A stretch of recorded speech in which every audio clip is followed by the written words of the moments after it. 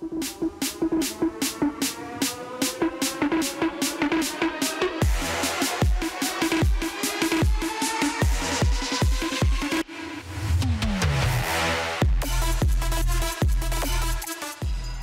lap to go. We could see something special here from former Razorback Shafiqua Maloney representing St. Vincent. 100 meters to go, 18 seconds to go, under two minutes.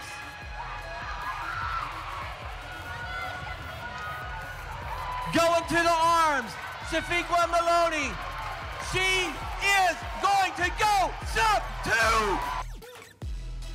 Well, not only did she clock sub two minutes, but Shafiqua Maloney has booked her ticket to Paris 2024, the Olympic Games, that is, to compete in the women's 800 meters. The 24 year old Vincentian smashing her own national 800 meter record this past Saturday at the Tyson Invitational that happened in Arkansas, USA.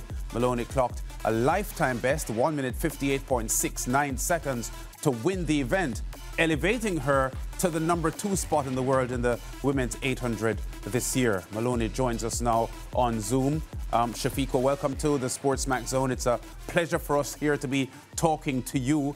Um, we saw the closing probably 50 meters that, uh, of the event just now, and I saw the arms driving, and I, I just figured that your coach's words were in your ears at the time.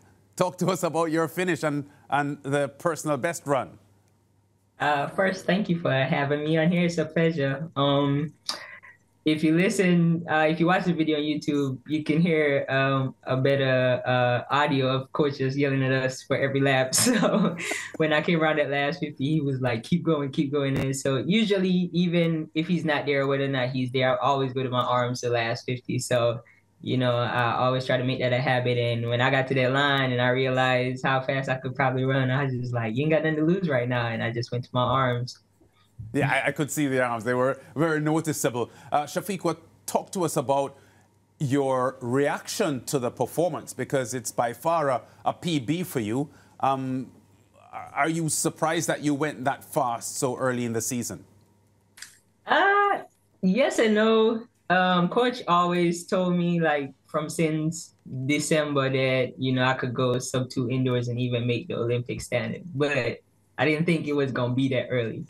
Um, but it, it happened. I was I was in disbelief because that week was hard for me mentally, and I didn't know how I was gonna get around that track. And you know, I prayed, I prayed a lot and read my Bible the day two days before, and the day of i mean i always read my bible but i was i was really in it with with the lord those couple days leading up to when i ran and you know that race is just the epitome of how good the lord has been to me um without him that weekend would not have been possible at all he has been keeping me these past two years honestly and so when i when I, i've been watching my race on repeat you know telling how many times and i just i'm I can't even find a words to describe how it's just seeing how good the Lord has been to me. Yeah, you just said that the week was tough for you uh, mentally. Could you expand on that a bit? Almost every week is tough for me. You know, I'm unsponsored. I don't have any support. I can't work legally. I don't have any income. So you know, trying to figure out where your next food gonna come from. If I have my mom or dad, or I get some money from somebody, it's like, do I pay bills? Do I buy supplements? Do I get some groceries or do I go get me a massage and see the chiropractor? So, you know, some days it's easier and some days it's not. And that week, everything was hitting a little bit harder. Wow. For sure. Starting yeah. revelations there, Shafiqua. We are very concerned to hear that. But of course, we have um, outlined on this show many, many times that uh, the track and field contestants or, or, performers really have a tough time. I mean, you know, there are some of the elite ones who are world and Olympic champions who are okay financially, but uh, a lot of athletes at your level are really struggling, aren't they? Uh, yeah, for sure. Um, being a professional track athlete has been my goal since I knew who Kineke Alexander was. My dad always tell me about Kineke and once I got to running in high school, I was just like, this is what I want to do. Uh, anybody ask me what I wanted to be when I grew up, I said I want to run. yeah. it was very immature. And when I got to college, I realized, you know, I can't run forever. So, you know, some changes had to be made. But this, I love to run, and this is something I wanted to make a career out of. Yeah. And so, you know, I've I've just been at it no matter the circumstance, yeah. especially these past two years. Yeah, well, we know Kineke is an outstanding U.S. collegiate runner as well, and, and Olympian Kineke Alexander. And uh, we are not surprised to hear that you uh, have been inspired by her. Um, Shafiqua, you're a, you're a 51 7 400 runner. Uh, the way 800s run these days with a lot of pace, um, how much emphasis do you put on your 400s and your speed work to be a more potent 800 meter runner? Uh, a lot of people don't know this, but I started running the 800 in 2020, and I don't even count that year because it was kind of half a year because of COVID, and I wasn't training for the 800. My first time on the track, I ran like 211. The next year, I went to 202, 201, and then I got down to 159 last year, and now I'm at 158. But uh, training has changed a lot over the years. At first, like I said, I wasn't training for the 800. I was still training for the four did a couple of sixes in practice, and coach was like, "All right, we're going to try the eight. And then 2021, you know, I'm I was still a part of the University of Arkansas, and I had to be able to run the four by four, whatever the case was, and I was still heavily in the 400. So, you know, coach found a good balance between 400 and 800 practice. And then last year, um, I was able to work last year and I was working like 60 hours a week. And I think coach realized, you know, we only have enough time to focus on one thing really. And so a lot of my workouts was 800 based, hardly any speed work.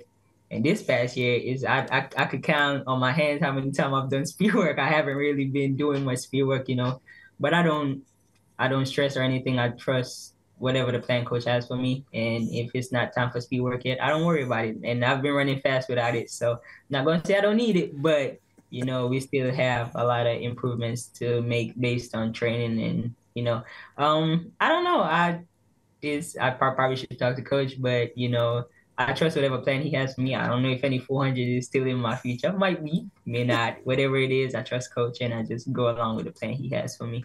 Yeah, you know, Shafiqua, I listen to you and uh, listen to you speak about your struggles, and I feel that because there are so many athletes who uh, are trying to make this sport work, who are trying to be the very best that they can be, but the financial situation just won't allow them to.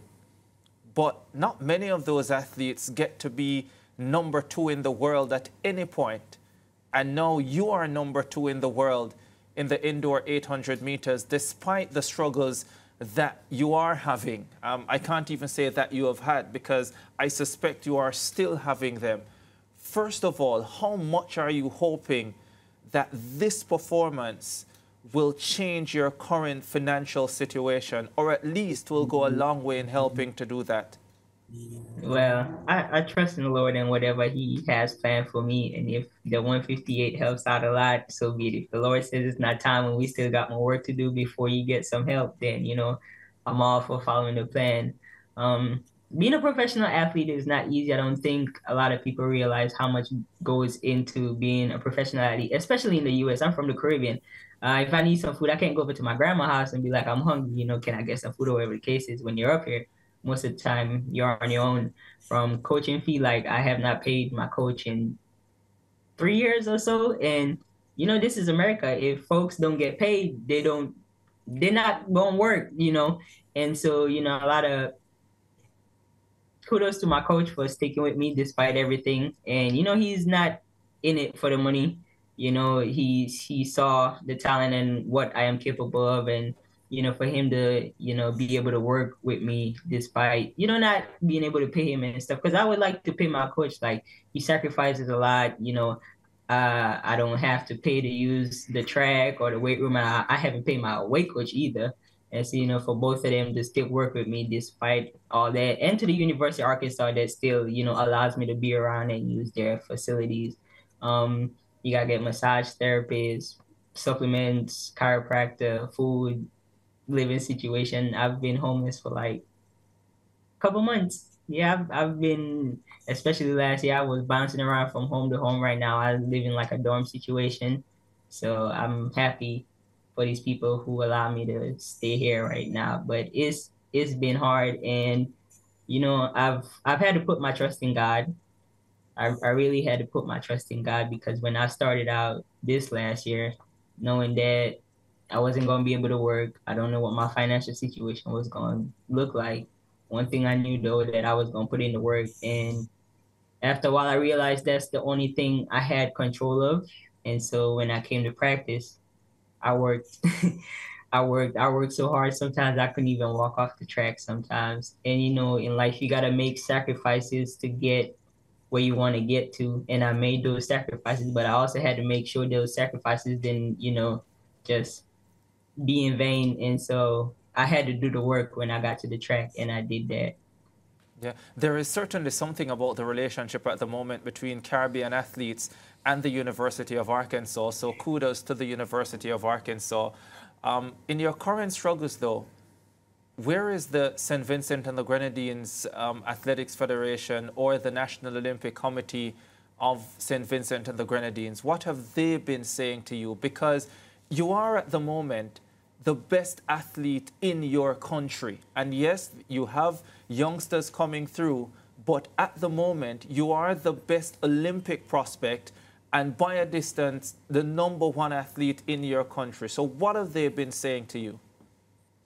Uh, um, I've I've been sending emails for a couple probably since 2021 because after I got done with school in 2021, I signed up for OPT, which allowed me to work for a year in my field of study, and that's how I was able to fund my 2022 season. And it, it was hard because I was working 60 hours a week plus training, and I was even surprised I ran 159. I didn't even know I had that in me.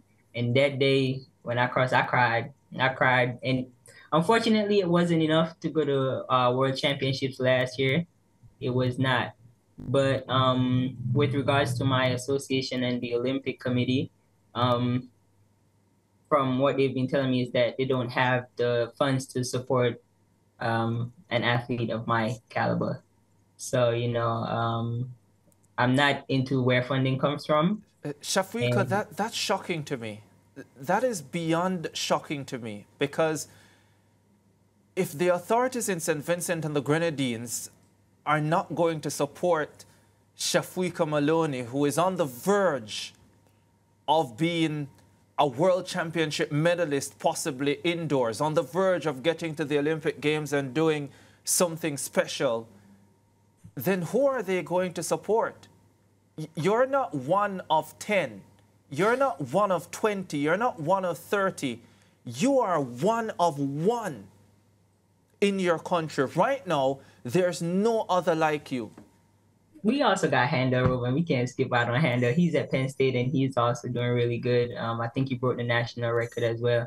As for World Indoors, I don't think I will be able to go. I've been, uh, I've my visa process. Um, each year I've been having to, you know, switch over my visa process and stuff. And I've recently applied for my O1, and that has cost me eighty five hundred dollars, which my mom has been sacrificing everything she have she works in a cruise ship and they, she she doesn't get paid much and she has two younger kids to take care of. So every month she has been trying to help me pay for that.